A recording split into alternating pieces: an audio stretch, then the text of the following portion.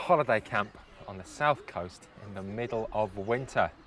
What could bring anybody out here other than sci-fi?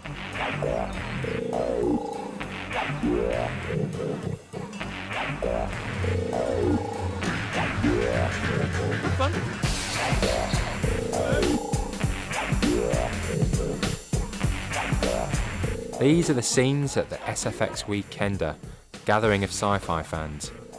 We're in attendance too. Try and find out a little bit more about what excites them and maybe what makes them tick. I feel like conventions are a kind of a magical place.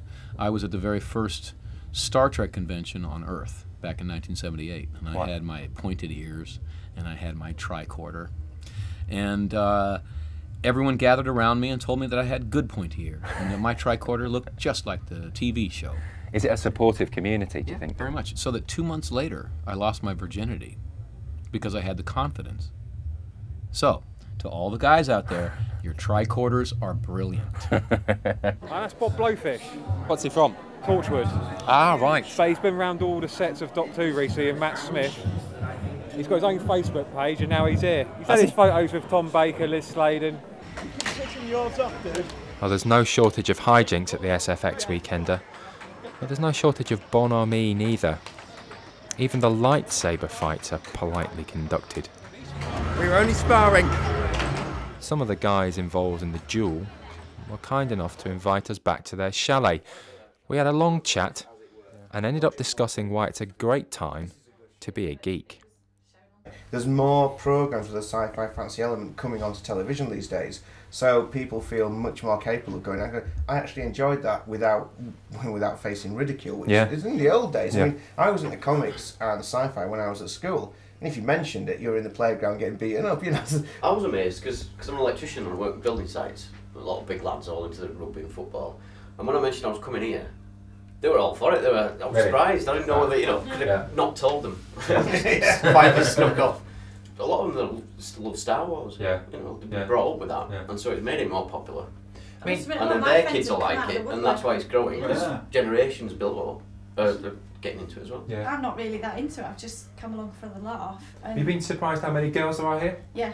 massively. Yeah. I thought it would just be completely populated by geeky boys and 40 year olds that live at home with mum. Yeah. It's not that way at all.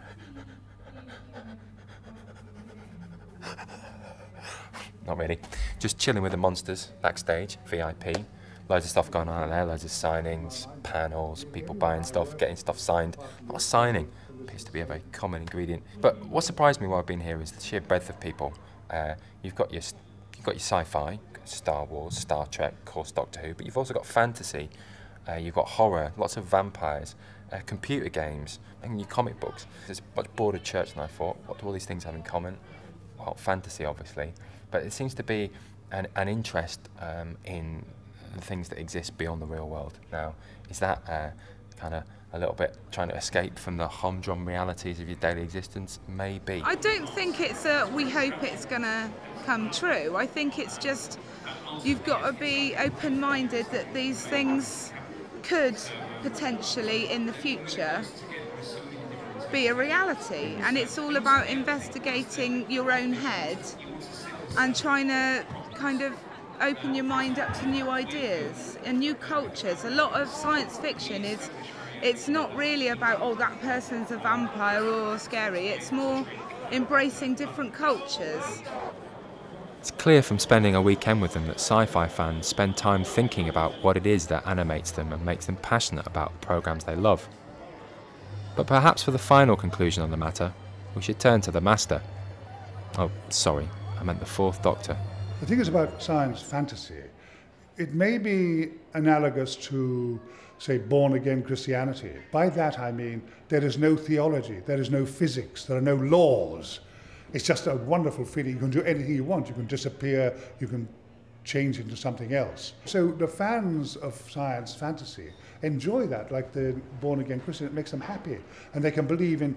They can all rules have gone, and when there are no rules have gone in the tumult of their imagination, they can respond to old Tom Baker being a benevolent alien.